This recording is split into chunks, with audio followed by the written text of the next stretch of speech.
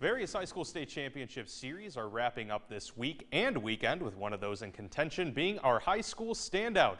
Broome softball has been on a mission all season long and the team now finds itself one game away from winning the program's first ever state title. They defeated Union County to win the upper state championship and this week they split games one and two with Aynor and will play in a winner take all game tonight. The Centurions are led by a group of seniors who have played together for several years waiting for this moment and a chance to end their high school careers as a champion. We have such, so much trust in each other and such better communication because we've been with each other for so long. We've been trying to do this since seventh grade and we've gotten so far since ninth grade. It's great to share that with them. We've been through a lot of fun, hard work, dedication, bad times, good times, and it's just nice to finally be here. Green, by the way, will be pitching for North Greenville next year, and Angelee will be playing for Lander. They and the rest of the Centurions will take on Aynor tonight at Gilbert High School with the championship on the line, and they're this week's high school standout.